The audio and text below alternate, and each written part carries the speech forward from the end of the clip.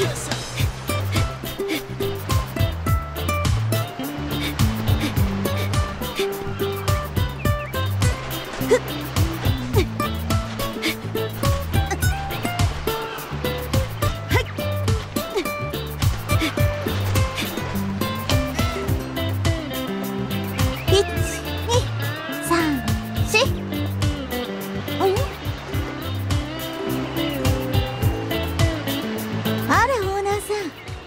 珍しいわね。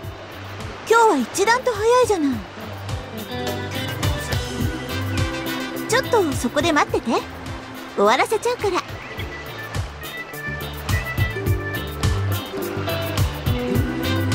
っ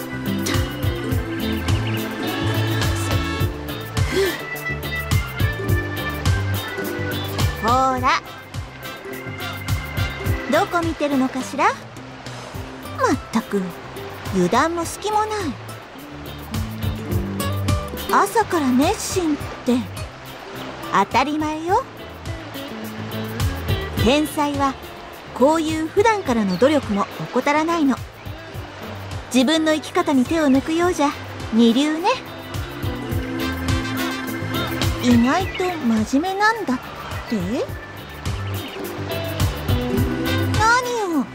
それじゃあ私が普段はふざけてるみたいじゃない。私は楽しんでるだけよ。それはちょっと楽しみすぎることはあるけど。まあそれも可愛いものでしょ。ねオーナーさん。